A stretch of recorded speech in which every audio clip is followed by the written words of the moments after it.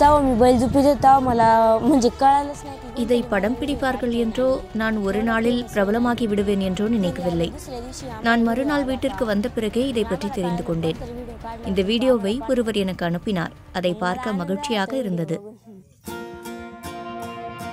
அடங்காத காளையை தீக்ஷா பருவே அடக்கும் வீடியோ ஒன்று இணையத்தில் வைரலானது மாட்டு வண்டி பந்தயத்தில் அவர் ஒரு காளையை அடக்குகிறார் மகாராஷ்டிரா மாநிலம் பூனேவின் ஜுன்னர் தாலுக்காவில் உள்ள தலேவாடி கிராமத்தில் வசிப்பவர்தான் பத்தாம் வகுப்பில் படிக்கும் மாணவி தீக்ஷா.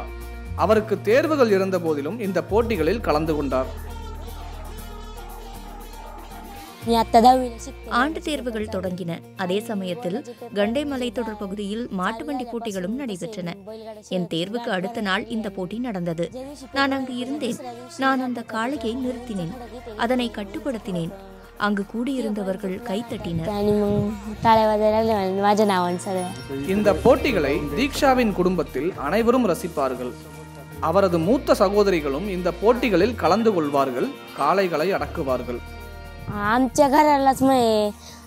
என் குடும்பத்தில் உள்ள அனைவருக்கும் இந்த போட்டிகள் மிகவும் பிடிக்கும். எனக்கும் மிகவும் பிடிக்க தொடங்கியது. இப்போது காளைகளை அடக்கவும் பராமரிக்கவும் செய்கிறேன்.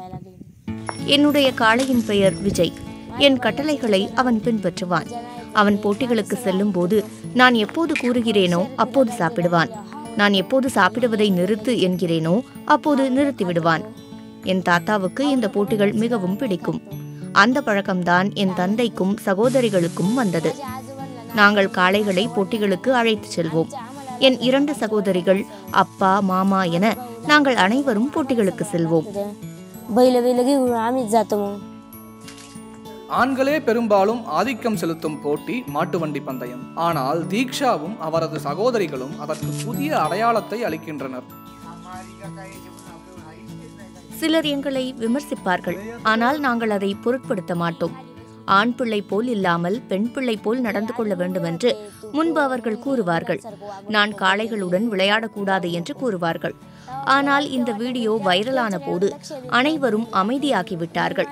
இப்போது அவர்கள் பெருமிதத்துடன் என்னை பார்க்கிறார்கள். சிலர் என்னை பற்றி பேசும்போது நான் வருந்தினேன். ஆனால் நான் என் பணியை தொடர்ந்தேன்.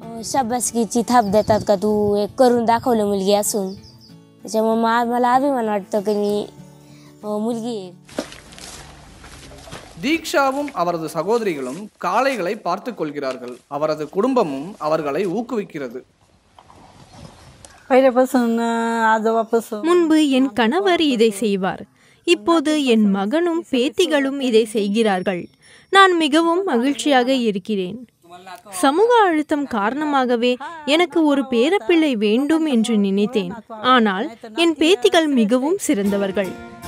தீக்ஷா படிக்கும் பள்ளியிலும் அனைவரும் அவரை பாராட்டினார்கள் அவரது நண்பர்கள் அவருடன் செல்ஃபி எடுத்துக் கொள்கின்றனர் शाळेत शाळेत एंट्री मारल्या मारल्या काँग्रॅच्युलेशन काँग्रॅच्युलेशन मला वेट लावून ठेव நான் பள்ளிக்குள் நுழைந்தவுடன் அனைவரும் என்னை வாழ்த்தினார்கள் எனக்கு உற்சாகமாக இருந்தது குழந்தைகள் முதல் அனைவரும் என்னுடன் செல்ஃபி எடுத்துக்கொள்ள விரும்பினார்கள் आज त्यांची शाळा होती आम्हाला सुट्टी आहे.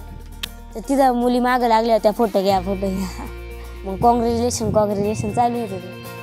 தீக்ஷா மல்யுத்த போட்டிகளிலும் கலந்து கொள்ள விரும்புகிறார். ஆனால் அவர் மாட்டு வண்டி போட்டிகளில் கலந்து கொள்ளும் ஒருவராகவே அறியப்பட விரும்புகிறார்.